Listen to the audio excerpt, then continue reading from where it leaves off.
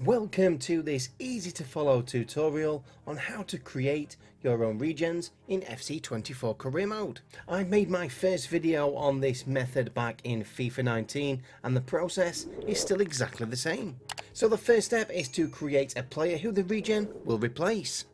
The regen will share the same nationality as your created player, so if making multiple, you might want to keep notes. The next step is to make your player as old as possible, which is the 1st of January 1980. The regen will also share the created player's position, so again you may want to keep notes if creating multiple players. So just to reiterate, it is very important to remember all your created players, nationalities and positions, as these are the two search parameters we will use when scouting for their regens. Once you have created your player or players, the next step is to manually transfer them all to free agents. This will ensure the regens are also free agents and not assigned to a random club.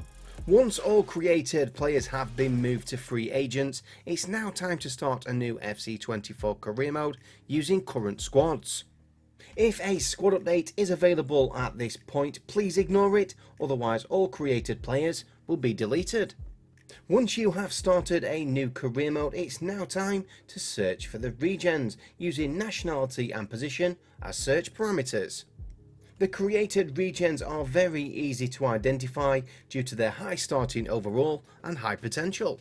In the unlikely event that the regen doesn't appear but the old created player does, simply start another new career mode and repeat this process until a regen does appear.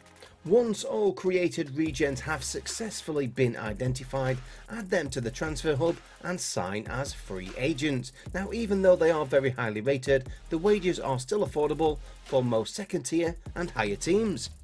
Now personally I think this process is extremely easy to follow but should you have any questions add those to the comments and I will attempt to answer as soon as possible. Thank you so much for watching this video. Please remember to tune in next time but until then, it's FCG out.